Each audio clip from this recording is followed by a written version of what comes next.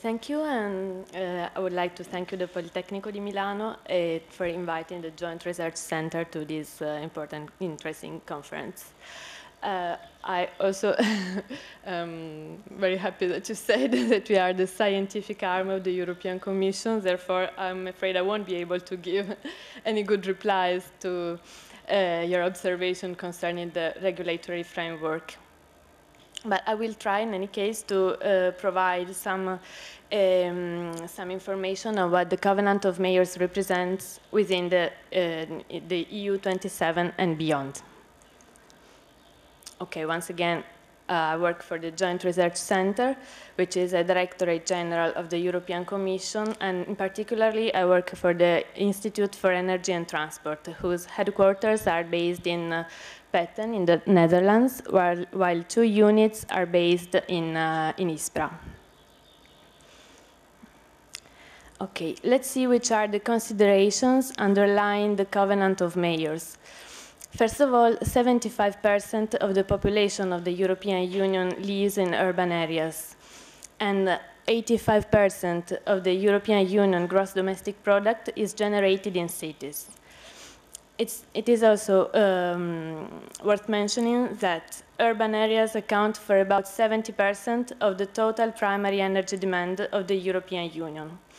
And the, um, the rate of energy use is, uh, the energy use is growing at a rate of 1.9% yearly versus 1.6% globally.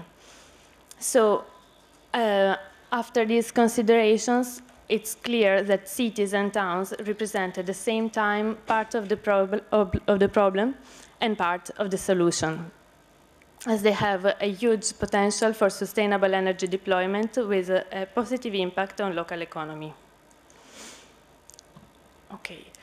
Uh, the European target to 2020 will not be achieved with an active involvement of empowered local and regional actors. Therefore, the Covenant of Mayors is trying to propose a new model of multi-level governance.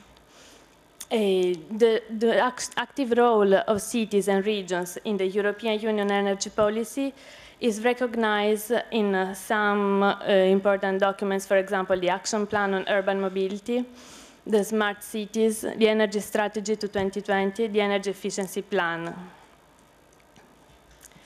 Therefore, the Covenant of Mayors is a platform for interinstitutional cooperation built on the principle of subsidiarity.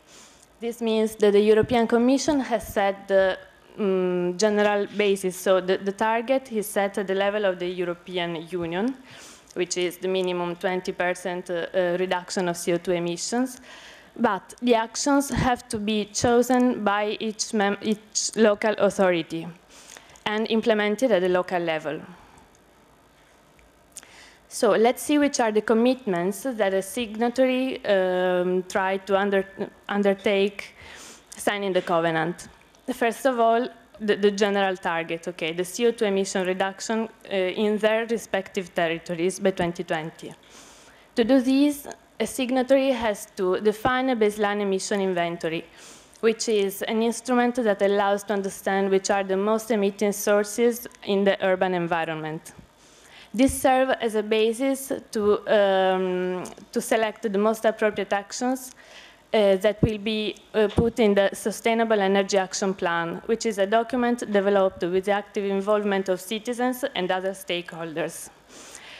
Um, also, the um, other commitment concern the adaptation of city structure, the allocation of sufficient um, human and financial resources, and the networking with other cities. Okay, there are three steps. They have been already mentioned. First of all, the signature of the covenant. Then, one year after the signature, the submission of the Sustainable Energy Action Plan to the attention of the European Commission. And every two years after submission, the signatory has to uh, report on uh, the implementation of the action plan. And also, after four, every four years, it is mandatory to carry out a monitoring emission inventory. Up to now, we have more than uh, 3,700 cities signing the covenant, and they represent almost 160 million inhabitants who committed to reduce their emissions until 2020 by 20%. Italy is the most represented country in, this, in the Covenant of Mayors with almost 1,800 signatories, followed by Spain with almost 1,000 signatories. The, the Covenant of Mayors as a movement is also growing outside the European Union. Uh, we can see, for example, the extension to former Soviet Union countries, which up to now account for 36 signatories and are very motivated uh, to meet the European target objective. Also, it is going to be extended to South Mediterranean and other countries outside the European Union. Which are the main motivations um, that push uh, a mayor to join the, this movement? First of all, energy is one of the few municipal fields where significant financial savings can be achieved. Secondly, um, the possibility to have lower energy bills for citizens allow also to invest in other activities, to have more qualified, to sustain more qualified job.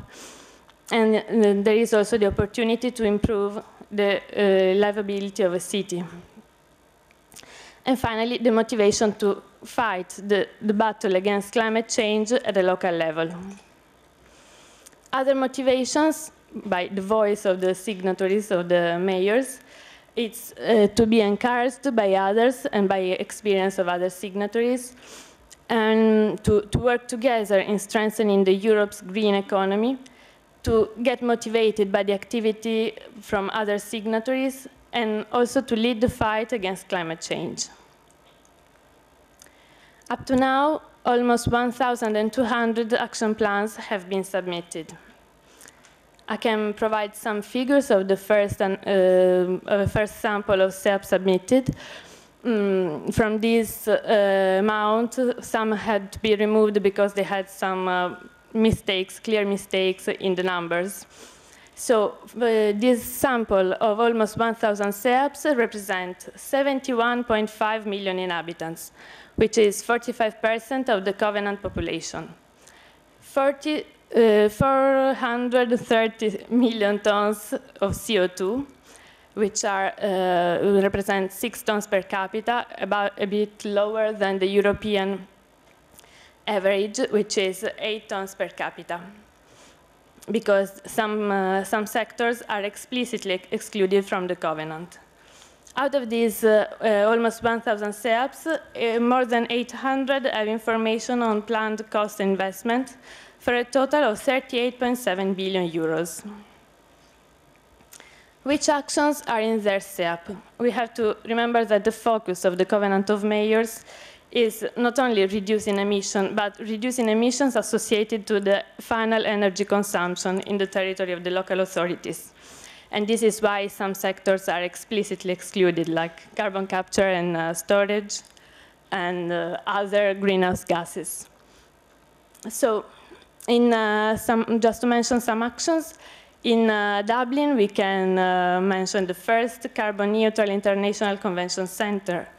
Or in Montreuil, um, they are planning to uh, to give 300,000 square meters of new offices for small, medium enterprises that have huge potential to create local sustainable jobs. Other actions concern, for example, green cities like Almada and Freiburg, or other actions from the SEAP of the Covenant East. Uh, for example, in Tbilisi, they are planning the refurbishment of residential buildings, and in Lviv, they are um, going to um, impose obligation for new buildings, for the energy standard of new buildings. Other actions concern the uh, local sustainable transport or the uh, independence from uh, fossil fuel, so uh, switching to renewable energy sources. Okay, a signatory of the covenant can benefit from different kind of support. The administrative, technical, and promotional support by the Covenant of Mayors Office in Brussels, the scientific and methodological support by the Joint Research Center, uh, also the institutional support by the European Parliament, the Commission, and Committee of the Region, and also a relevant role is uh, played by covenant coordinators, namely provinces uh, in Italy, uh, which help signatories with the, with, action, with the development and implementation of the action plan. Also financial support. To see more in detail the, um, the, technical support provided to signatories, we have the guidebook already mentioned before, uh, which gives uh, uh, guidance, provides guidance on how to develop a baseline emission inventory and how to develop a sustainable energy action plan. Uh, then we also operate a technical help desk service, replying directly to signatories, to co uh, private consultants, to um, provinces, to any kind of uh, information, uh, they, they need on the development of their baseline emission inventory and uh, of their SEAP. So we reply by email and by phone. We are co constantly in contact with the signatories. We also provide evaluation of submitted SEAP to see if they comply with the methodology, methodological framework provided by the, by the JRC. And we also will be involved in the monitoring of the implementation. It is important to mention the role played by Covenant territorial coordinators and supporters. They are really uh, giving a, a, full support to small local authorities which often lack of human and financial resources and also the technical expertise to develop their action plans. And so they are helping, for example, with the data of relevant, the, the collection of relevant data for the mm, local territories, uh, in order to develop the baseline emission inventories. And they are also providing support in the choice of the most appropriate actions to be implemented at the local level. Up to now, we have more than 100 uh, Covenant territorial coordinators and 71 Covenant supporters. Finally, I just wanted to mention the financial support by different initi initiatives at the European level, but I know that it will dis be discussed in uh, detail in the afternoon. So just to mention the ELENA facility, the Smart Cities and Communities, communities Intelligent Energy Europe, European Energy Efficiency Fund, Structural Fund and Regional Development Funds, including the Jessica uh, facility, Life Plus and Interreg in particular some example of this um, ELENA technical assistance facility, which has been uh, obtained by some covenant coordinators. I will mention province of Barcelona, who has been able to finance 55 uh, feasibility studies, the province of Milan, um, who is going to attain um, a funding to improve the energy efficiency of public building of uh, local authorities signing the Covenant of Mayors. And finally, the city of Paris, who is planning, who has received funding to improve energy efficiency in schools. So with 17.5 uh, million euros, ELENA has mobilized uh, about above 1 billion euro in, in investments. Thank you.